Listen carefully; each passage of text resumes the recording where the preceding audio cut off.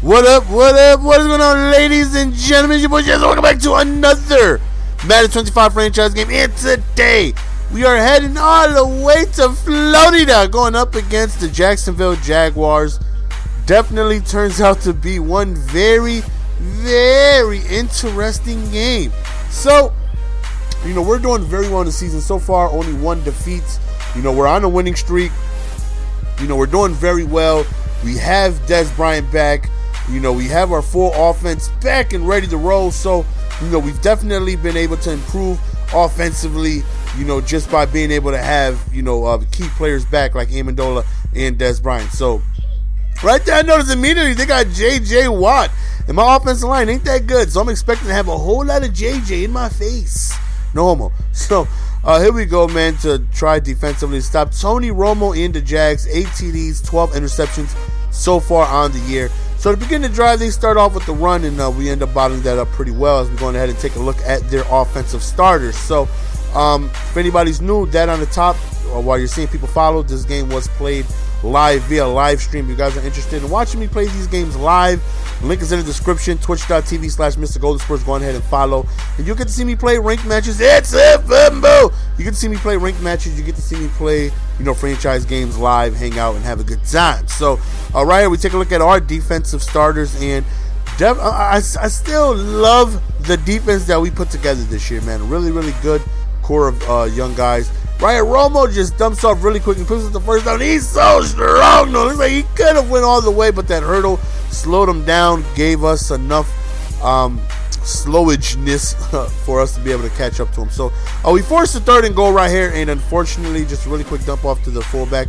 We do get him, but he ends up breaking the tackle and he ends up scoring. So Tony Romo gets his first score of the game. So that right there is definitely frustrating, knowing the fact that we went ahead and stopped him you know, um, short of the end zone, but he breaks the tackle and then he ends up scoring. So that right there, you know, is definitely very frustrating. But right there, we get Amendola, and I don't know where he came from. That man was very, very quick.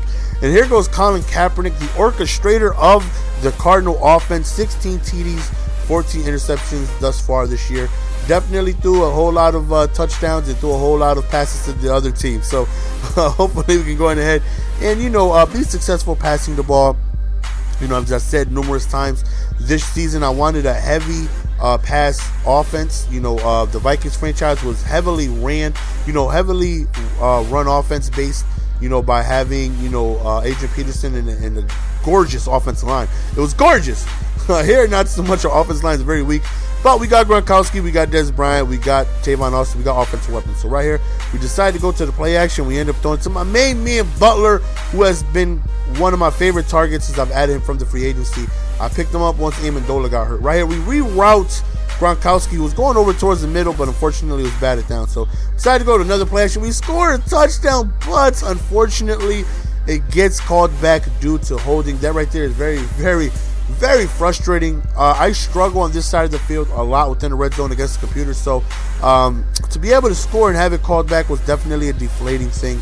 Uh, right here, we just throw a really quick uh, precision pass to Butler, but unfortunately, uh, just wasn't enough for the end zone. So we are forced to go on ahead and kick a field goal. So uh, they did a very good job of stopping us, even though it came through a penalty. Nonetheless, man, they get a very crucial stop, which prevented me from scoring. And right now, we're back on defense, man. Hopefully, we can go on ahead and get ourselves a stop, man. Hopefully, we can go on ahead and uh, force a punt, turnover, anything, anything that could get us this ball back. So third and forever, they decide to run the ball, and we do eventually tackle them. And um, we go on ahead and call a timeout. And we received the ball back with about a minute 30 left, which I feel is definitely enough time with one timeout to go on ahead, move downfield. We do get ball at halftime, so you know keep that in mind. Right here, try to work my way in the pocket. It's a fumble, and Mama, there go that man again. There go J.J. Watt making plays, just absolutely block shedding like the boss that he is, forcing a fumble. Uh, ensuing play, they just call a um, running back screen. They score a touchdown. Now I'm down 14 to three. Now I'm a little, I'm a little nervous. You know, can't lie. Um, you know, they've had the ball twice. They scored on both possessions. You know, we've had a field goal and a fumble. So uh, right here, to me, I definitely feel like it's, it's a must-score situation. You know, um, I don't want to get ball at halftime and be down one uh, a possession if I do score. So even if I kick a field goal here, you know, something that gives me, you know, the opportunity to tie the game or take the lead um, when I get ball at halftime. So uh, here we go, man. We roll outside the pocket. We go deep right up the middle of my big boy Gronk, who is definitely uh, killing for us this year. He leads the team in receptions and rushing yards, and I'm pretty sure in TDs. And as the quarter was about to expire, we actually throw towards the corner of the end zone and a quick out route to Tavon Austin, who comes through with an amazing touchdown catch. And that right there was a big shift of momentum because, like I said, we get ball at halftime, so we have the opportunity to go on ahead and take the lead. So uh, we jump right into halftime, and here's our halftime stats. Not really running the ball too much. Uh, passing, you know, pretty well. Uh, time of possession, uh, we, we have the lead, but uh, we, we got to shape up on defense. You know, I can't continue to allow them to score every time they touch the ball. So uh, right here is a very, very big, important drive. You know, we want to be able to score. And even if we get a field goal, you know, a field goal keeps it within one possession.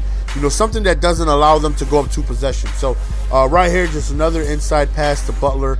Like I said, man, ever since I found him off the free agency list, he has been absolutely killing for me.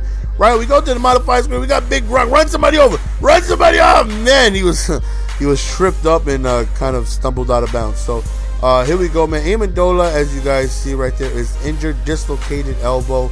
Oh, looks like he's going to be missing some time again. This is his second time on the injury list, and thankfully we found a receiver that can, um, you know, pick up the slack because, uh, like I said, Butler's filling in just perfectly fine. You know, so here we go within the red zone, man. We do a quick run with DeMarco Murray, and he gets absolutely caught in midair and uh, spine buster down. Right there, we get sacked, and we're forced to kick a field goal. And we almost missed it. We almost missed it. It hit the upright and still went in. That right there would, would have been very frustrating if I was able to miss that kick. But thankfully, that's not the case. So um, it is a one possession game. Even if they score, we will be down eight, but we still have an opportunity to uh, tie the game up. So um, they're doing a very good job of, of just being able to dink and dunk the way down the field. These short little routes that are being very, very effective. Tony Romo's eight for nine uh, right here just to run up the middle. And Frank Gore's having a, a, decent game. Right there, we get a big sack right there by Elam. So right now, 36, can we get the ball back? And that's exactly what happens.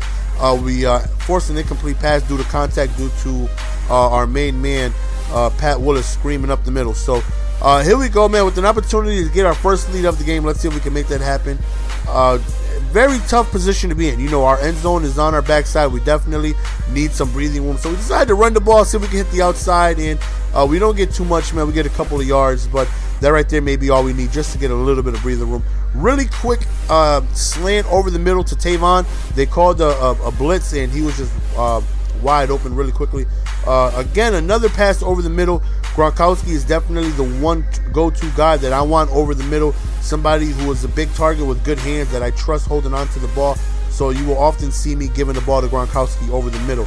So uh, nice run by um, Murray. We call it play action right here. And we try to get away, nothing there. So we just got to throw the ball out of bounds, man. Third down, let's see if we can pick up this first down. Quick out route. And unfortunately, we are one yard shy and have to give the ball. Um, actually, no, not give the ball back. We kick a field goal, excuse me, and we miss. We missed the field goal. That is like my fourth missed field goal this year. I don't know what the problem is, but I am just missing way too many field goals.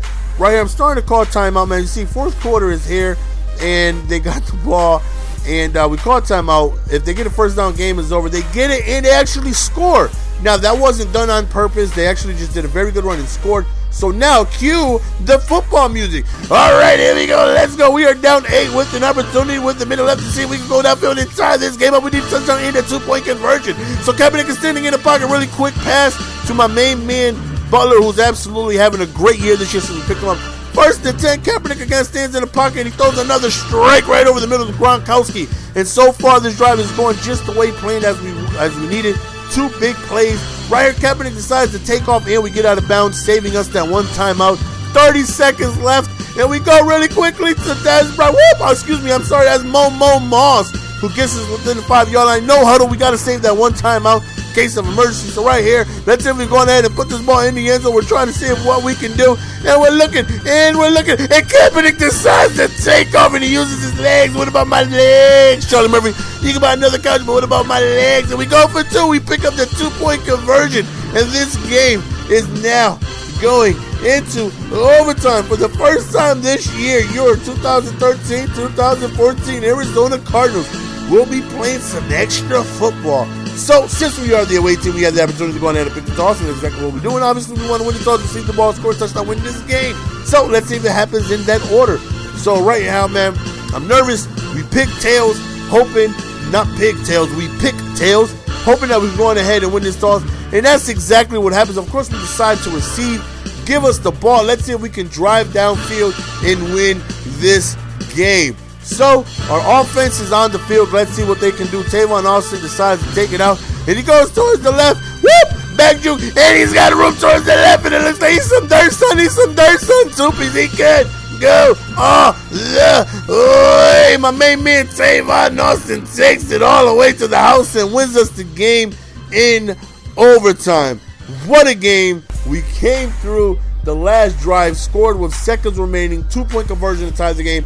In overtime, our offense didn't even need to touch the field. The special teams took over, and that right there was an absolute incredible way to win the game. Woo!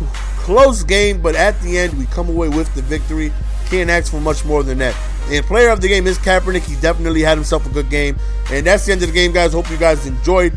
Next game, we'll be up against the 5 and 5 Colts. So, like I said, man, I hope you guys enjoyed the gameplay. It's your boy GS, and we are out. Peace. Give it to me, baby. Yeah.